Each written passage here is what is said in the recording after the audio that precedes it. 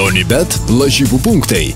Justiniškių 91 Vilnius. Savanorių prospektas 346 Kaunas. Lakūnų 24 Vilnius.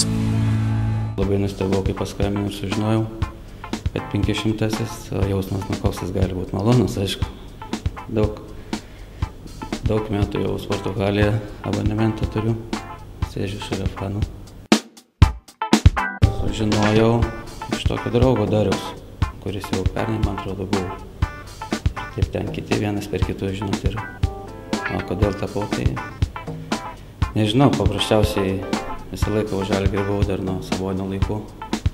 Visų, visą laiką stebėdavau. Nu, toks noras. Asmeniškai su abonementu, tai turbūt koks gal šeštas. O prieš tai tai taip, pavieniai su bilietais eidavau. Pasakyti yra, dar neturiu rankose, bet viskas yra užsakyta ir visi kartu sėdės. Halė tai kažkaip nežinau, būdavo toks ateini kaip į šeimą, aš čia dar kai nebuvęs, negaliu pasakyti, nežinau, tai erdvė bus didesnė, viskas. Tikiuosi bus gerai viskas, smagu. Kaip ir kiekvienais metais tikiuosi, kad kuo aukščiau nueis, tiek Eurolygo, tiek visur kitur. Aukščiausių rezultatų. Ko galiu tikėtis, jeigu esu fanas. Thank